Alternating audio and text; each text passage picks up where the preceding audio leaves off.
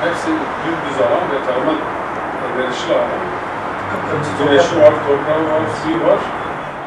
Hüdapar Şanlıurfa İl Teşkilatı Edesa TV'yi ziyaret etti. Basın buluşmaları kapsamında gerçekleşen ziyarette Hüdapar İl Teşkilatı'nı Edessa TV Yönetim Kurulu Başkanı Mehmet Ali Savaş ve Haber Müdürü Rıdvan Ortakaya karşıladı. Biz e, Hüdapar olarak e, Şanlıurfa Teşkilatı e, çalışmalarımız diğer siyasi partilerin tam aksine biz her zaman yarın seçim varmış gibi halkın arasındayız.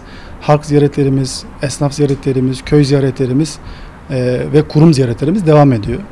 Dolayısıyla e, basın ziyaretleri arasında Edasa TV'yi de ziyaret etmek istedik. Hüdapar Şanlıurfa İl Başkanı Emin Özaslan yerel medyanın önemine vurgu yaparak medyanın tarafsız olması gerektiğini belirtti. E, yerelde bir medya ne kadar güçlü ise biz biliyoruz ki o ülkede, o memlekette çok güçlü olacaktır. Bir memleketin kamuoyundaki gücü yereldeki medya gücüyle eşdeğerdir. Dolayısıyla Edasa TV'de de bu konuda üzerine düşen sorumlulukları yerine getirdiğinin farkındayız. Ve biz yereldeki bütün televizyon kanallarının, özellikle Urfa'daki televizyon kanallarının her zaman çok çok daha güçlü olmasını, imkanlarının çok daha iyi olmasını tabii ki isteriz. Çünkü bu halk olarak hepimize hizmet olarak geri dönecektir. Ve şuna da inanıyoruz ki medya kamuoyunun sesidir. Yani kamuoyu vicdanının aslında dile gelmiş halidir. Sorunları, sıkıntıları, talepleri medya dile getirir. Tabii medya bunları dile getirirken de hem tarafsız hem de özgür olmalı.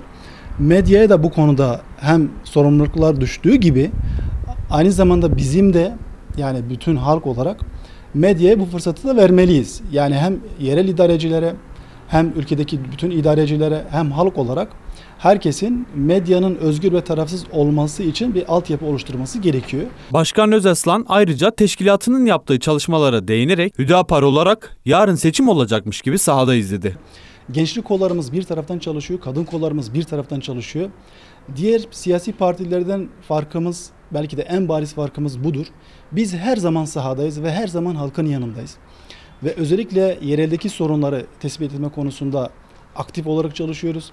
Bizim ilçe başkanlarımızın her birisi partinin genel başkanıymış gibi çalışır. Hüdapar Şanlıurfa İl Başkanı Özaslan son olarak partinin yaptığı kongreleri değinerek il başkanlığı kongresinin 18 Ekim'de olacağını ifade etti. Ve şu anda bütün ilçe kongrelerimiz de bitti. Ee, inşallah ayın 18'inde 18 Ekim'de de biz il kongresini yapacağız. İl kongresini yaptıktan sonra da ildeki yeni yönetimimizle beraber çalışmalarımıza kaldığımız yerden İnşallah hep beraber devam edeceğiz. Hüdapar Şanlıurfa İl Başkanı Emin Özaslan'a Karaköprü İlçe Başkanı Rüstem Çakmak, Aliliye İlçe Başkanı Ali Durmaz eşlik etti.